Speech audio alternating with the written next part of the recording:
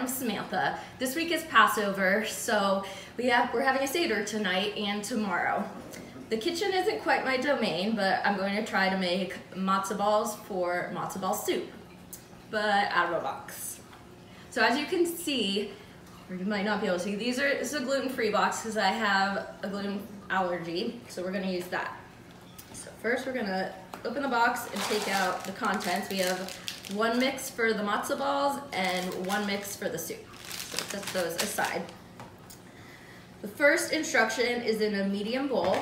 We're gonna mix two large eggs with three tablespoons of oil. So I've pre-measured out my oil.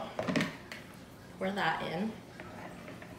And then I have two large eggs right here. So let's crack those. One and two. And always have some napkins by you to be able to wipe your hands down. So we're gonna mix those together. Just a little whisk. Okay. So next we're gonna add the contents of the matzo mix and mix it in and then let it sit for 15 minutes.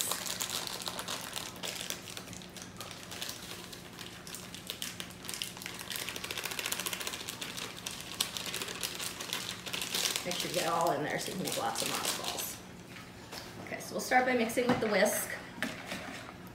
I got a spoon out here just in case it gets a little thick.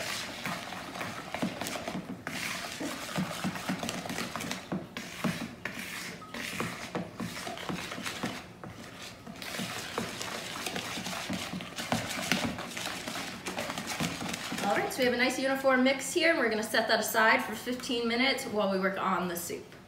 So now it's time for the soup. So we've already boiled two and a half quarts of water in a pot with a tight lid. So we're gonna get rid of the lid there and add the contents of our soup.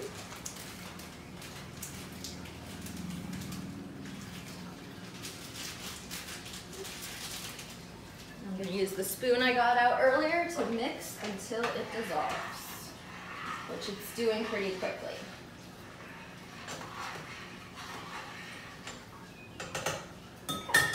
So we'll just let that boil there for a moment. And now it's time to make the matzo balls. So this is our mix after 15 minutes. I'm need a plate to put the balls on.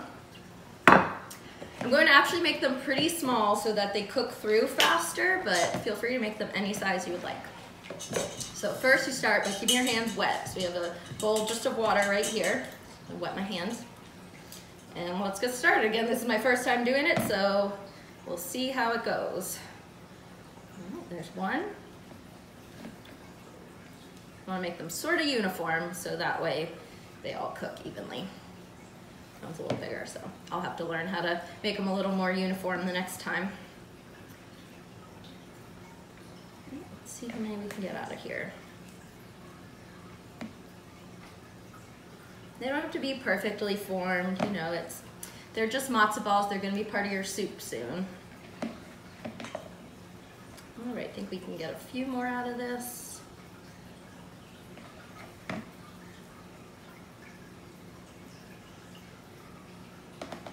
All right, two more.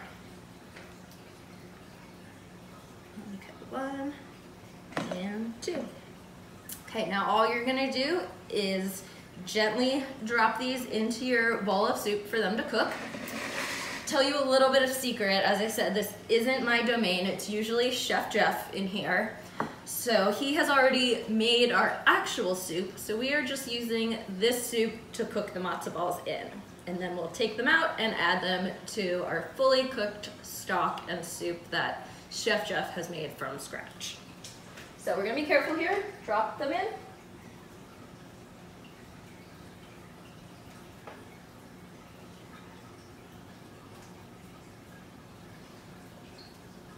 You want to let them cook in the pot for 30 minutes just keep an eye on them. We have all the matzo balls in. And right now you'll see them starting to float a little bit towards the top. So we're gonna let them sit for 30 minutes and then we'll show you the finished product. All right, so we got the last one on our plate, and here is the finished product.